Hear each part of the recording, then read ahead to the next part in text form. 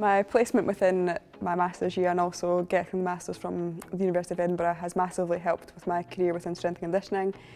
Obviously I was based within Scottish Rugby for my placement and now I'm working for Scottish Rugby. That's my main bulk of coaching hours that I do.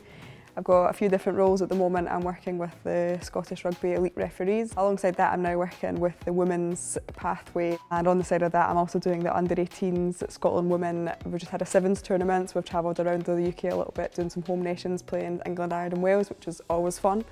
My internship whilst on the programme was with the Scottish Rugby Academy at Edinburgh with the stage twos and threes. I interned for a year um, and then off the back of that from the experience that I'd gained um, within that year um, I was then lucky enough to become a contractor coach within Scottish Rugby um, as well as being fortunate enough to work with the Club 15 international squad and then over just this past summer I was uh, lucky enough to work with the women's national sevens team um, throughout the Grand Prix series. Um, so that's been around Europe. We've been in Paris, uh, Amsterdam, and then go to Russia at the end of the month.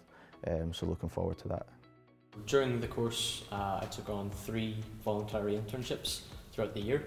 Uh, first one being with Glasgow Warriors Rugby Academy. To gain coaching experience uh, with the athletes, so semi-professional level, uh, learn from other experienced coaches as well, and I feel like that was a very good addition to the course, having good base of practical experience and actually coaching athletes, building rapport with them, and also uh, learning to interact and communicate with coaches, not just within S&C but the sport coaches as well, so rugby coaches, physiotherapists, and being able to collaborate on a scale. In addition to that internship, I also gained one just up the road at Pleasance Gym, so the main university gym, uh, with their high performance athletes and scholars. So I worked with rowing and swimming, and there are a range of athletes from various levels, from whether that be beginner level all the way up to Commonwealth and Olympic level athletes. So it gives you a really good uh, understanding of the different needs and different levels for athletes.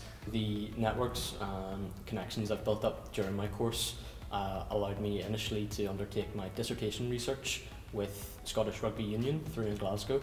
Uh, that voluntary internship position uh, fortunately transpired into a paid coaching position as well, which uh, has now thankfully transpired into a full-time job through in Glasgow with a former mentor of mine.